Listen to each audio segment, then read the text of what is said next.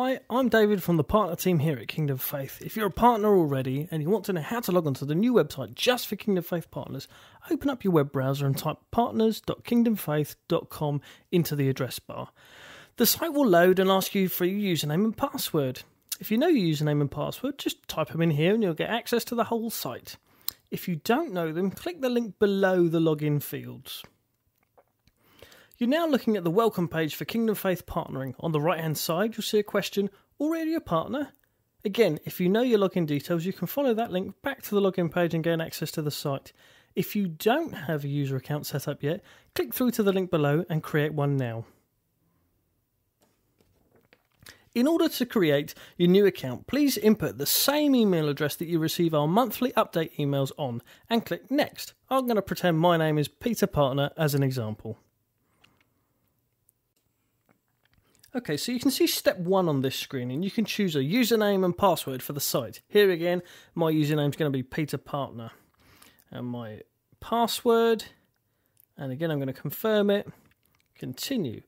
So, step two is the About You section. Now, you can edit your own details in this section. The contact details that are there already are the ones that you gave us when you signed up to be a partner, and they should be displayed there. And if for some reason these details are wrong or they don't show, please take a moment to change them. And if you'd like to give a one off or a regular gift to Kingdom Faith, you can indicate that on this page.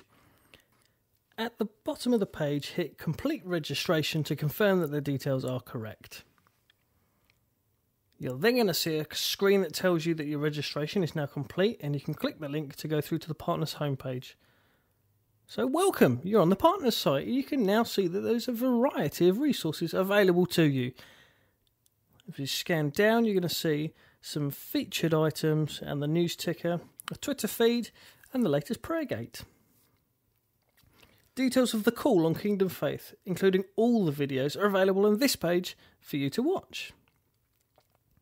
The next page we're going to look at is the articles page, which shows all the articles on the site. There's a variety of subjects here, including social media to children's work, leadership to musicianship.